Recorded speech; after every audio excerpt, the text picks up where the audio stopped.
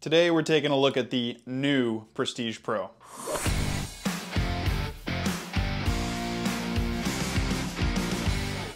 Hey everybody, it's Luca from Rackets and Runners. Okay, that intro was a bit facetious. These two rackets don't look exactly the same, but let's be honest, Head, you could have done a little bit more. 20 years ago, this would have been probably the biggest release of the season, but it's no secret that this line has lost a bit of its prestige over the last few years.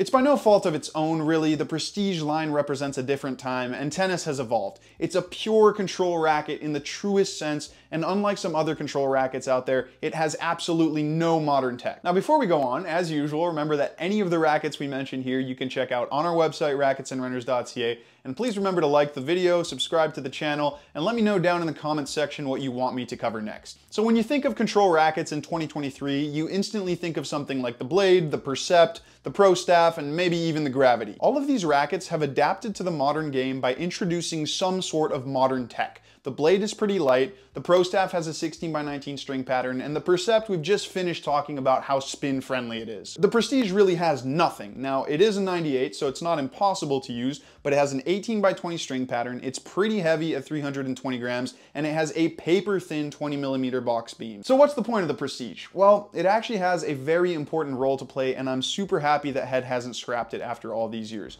It's one of the last true classic control rackets out there, and there's a lot of players still looking for that. But what, if anything, has changed coming from the last one? Because, yeah, they look pretty darn similar. Auxetic 2.0. Okay, to be honest, not much. The interesting thing is this is the first frame to come out with Auxetic 2.0, and we haven't received any marketing jargon, so I'm kind of going into this blind, which is kind of fun. My guess is that it's just going to be a better version of Auxetic, and just to recap what Auxetic is supposed to do, it's a technology in the throat that makes it flexible and snappy, so it's supposed to add feel and also amplify stability and spin potential. Now we're going to get into it here, and we'll start with control and feel, because ultimately that's where the Prestige has to shine, otherwise it's not going to be a very popular prestige. When you look at the most popular rackets on the market today, they're all very impressive at something flashy like spin, power, or user friendliness. The Pure Drive is very powerful, the Extreme is very spin friendly, and then something like the Speed kind of has it all. The thing with those rackets, and we'll take the Extreme with its high spin as an example, but basically it's had to incorporate a lot of modern technology to become so spin friendly. So that technology is obviously crucial to the Extreme's playability and identity, but the more technology you pump into a racket, the more you're going to slowly chip away at its raw feel and consistency, and those are two pillars of classic control. Now, I use the term classic control purposefully because nowadays you can control your shot by adding spin, but a lot of players still prefer that classic control because it comes from an ultimate connection to the ball, and you can only get that with the most pure feel. If you're looking for classic control, the Prestige Pro is about as good as it gets right now, at least if you're comparing it to any other normal retail racket. The fact that it has so little technology, even compared to other control rackets, means you feel every bit of the ball on impact. When you do make good contact, you get this great feedback and when you don't make good contact, the racket definitely lets you know. On top of that, with that really thin beam and low flex rating of 56 strung, it's also incredibly soft, so dwell time is very long, which means the ball stays in the string bed that split second longer. Combine a long dwell time with excellent feel, and you get that unique sensation of almost being able to grab the ball and then caress it where you want on the court. That's a sensation that a lot of good players crave, and one of the main reasons why the Prestige may grow old, but it'll never become totally obsolete. A few more things help totally maximize its control. The 18 by 20 string pattern means it has a super consistent launch, and then this Y-shaped throat and fairly small head size mean the sweet spot is small, but also incredibly precise, Basically, the Prestige is all in for control. Now let's talk a little bit more about feel here because it is a small difference, but also probably the biggest change coming from the previous version. Do bear with me because conversations about feel can get a little boring and very technical, so I might lose some of you here, but this is a review about the Prestige after all, so if ever there's a time to be super nerdy, it's now. Let's take a trip down memory lane for a second. People really hated the first few graphene Prestiges because they had this sort of hollow and also very tinny feel. That did get a lot better with time, and by the 360 Plus, the feel was excellent, and on the Auxetic, it was almost perfect. On this one, there is still graphene in the layup, but I only found that out after my playtest, and I have to say, I was a little surprised because I felt absolutely none of that hollow feel. Now, it is super marginal, and I have to admit, I only noticed the difference when I was hitting the old one and the new one side by side, but it just feels like this one's flex is a little bit smoother. The previous one is great, don't get me wrong, but there is still a tiny bit of harshness right at the end when the ball shoots out, almost as if the flex is bottoming out. So that then begs the question, is this the best feeling racket ever? No. These are the two rackets I've got as my holy grail of feel, Pro Tour 280 and 2015 Blade. I'd still say they are a little bit better, but it does come pretty close. Honestly, it's always such a pleasure to hit with a racket that has impeccable feel like this. I'm glad that Head keeps improving it, because if there is one racket line out there that deserves good feel, it's the Prestige.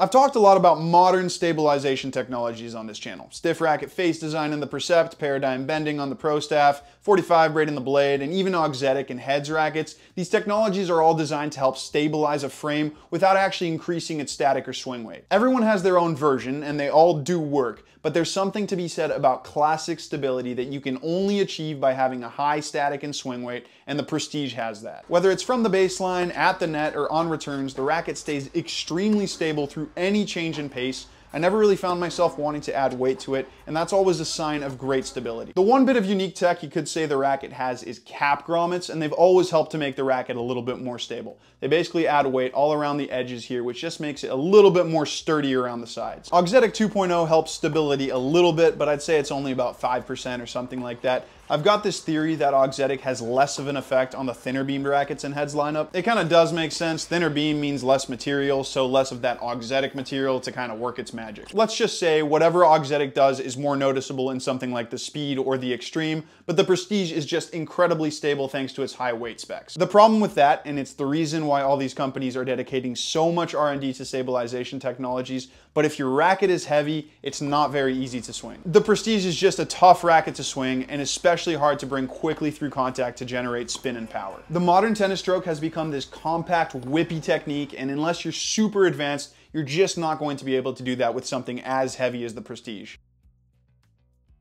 Okay, I'm not going to harp on about how this racket isn't powerful because if you're looking to buy a Prestige, you probably know that already. But yeah, no, this racket is not inherently powerful. In fact, look at some of these shots. If you get lazy and don't swing full, your ball is probably going to go into the net. Now, can you hit powerful shots with the Prestige? Absolutely. You look at a guy like Cerundolo, and he's not using this prestige, but a racket a lot like it, and it's certainly not limiting him in terms of power. The racket is geared towards advanced players who can generate their own power, and it won't limit you in that regard, but yeah, you gotta generate it yourself, you can't get lazy here, and it's the same story with spin. The string pattern is super dense, and there's absolutely zero spin tech going on in here, so whatever spin you want, you're going to have to generate yourself but with proper technique, you absolutely can. You give Nadal the prestige and you give me his Aero and he's still going to hit with way more spin than me. Now I do just want to show you what I mean when I say there's absolutely nothing on the prestige that's going to help you with power and spin. I've got a blade here and I think we can all agree the blade is an elite control racket. Still, I'm going to show you how many things there are going on in this racket that help give it more easy power and spin. We'll start simple, 16 by 19 string pattern.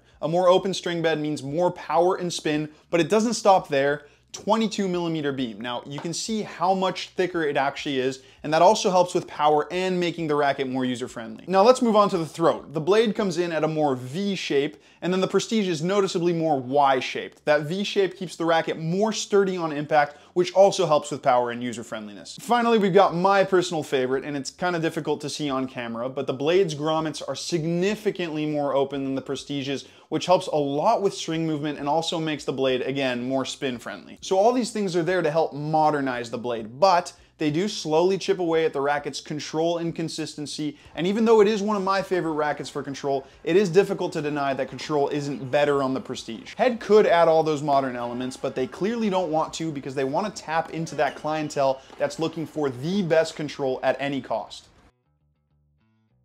Now, you've probably noticed throughout this review, I've said a lot of positive things about this racket, and whenever I did have something negative to say, I gave it the excuse of, well, it's a non-issue if you have proper technique, and if it were better in that sense, it wouldn't be as good for control. That right there is a problem though. If you're not an advanced player, the shortcomings you'll have in terms of spin, power, and especially ease of use mean that it's a racket that's really only going to work for a small percentage of players. And you might be thinking, Luca, you're excited enough about it where surely you can make it work, but the reality is I can't. As much as I enjoy playing with this racket, there's absolutely no point in trying to shoehorn myself into it when I clearly don't have the level. So who should actually buy this racket? Well, it is never going to be a bestseller, but there are two specific types of people that will absolutely love it. One, the Francisco Cerundolos of the world, basically incredibly good players who want the most control and have the tech technique to swing this racket quick enough to get competitive amounts of power and spin. Two, the people who've been using this style of racket for the past 30 years. In no uncertain terms, the older generation. Those players who don't care about hitting crazy amounts of spin and care more about placing the ball with flat directional control. There's quite simply nothing else out there, not even the Gravity Pro, that's going to give you this level of control and consistency